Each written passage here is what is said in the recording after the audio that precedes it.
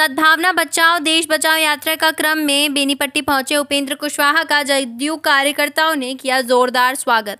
मधुबनी ज़िले में सद्भावना बचाओ, देश बचाओ यात्रा के क्रम में बेनीपट्टी पहुँचे उपेंद्र कुशवाहा का अगुवाई करने को लेकर मौजूद सैकड़ों जदयू कार्यकर्ताओं ने विभिन्न जगहों पर उन्हें रोककर भव्य स्वागत किया। इस कार्यक्रम में जैसे ही वे सीतामढ़ी ज़िले की सीमा पार कर बेनीपट्टी प्रखंड के मकिया गाँव पहुँचे तो कार्यकर्ताओं का हुजूम, इनकलाब, जिंदाबाद के नारे लगाने लगे।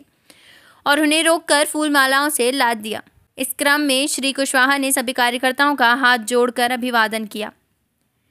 इसके बाद मुख्यालय के अंबेडकर चौक पर मौजूद कार्यकर्ताओं ने उन्हें रोककर माल्यार्पण किया। फिर उगना चौक के समीप संजीव कुमार झा मुन्ना के नेतृत्व में मौजूद कार्यकर्ताओं ने भी श्री कुशवाहा को रोककर मिथिला की परंपरा के अनुसार पाग, दुपट्टा व फूल मालाओं से गर्मजोशी के साथ स्वागत किया। इसके बाद अरेर पहुँचने पर प्रदीप कुमार झा बासु के नेतृत्व में कार्यकर्ताओं ने उनका भव्य स्वागत किया।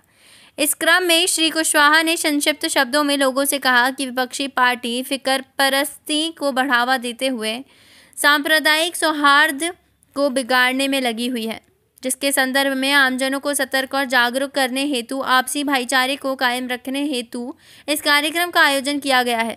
सद्भावना बचाकर देश को बचाने में सभी लोगों की जागरूकता ज़रूरी है। बता दें कि मधुबनी जिला मुख्यालय स्थित चंद्रा कॉम्प्लेक्स स्थित सभागार में आयोजित सभा में भाग लेने के लिए जदयू संसदीय बोर्ड के राष्ट्रीय अध्यक्ष, पूर्व केंद्रीय मंत्री उपेंद्र कुशवाहा, सीतामढ़ी ज़िले से होते हुए मधुबनी आए थे।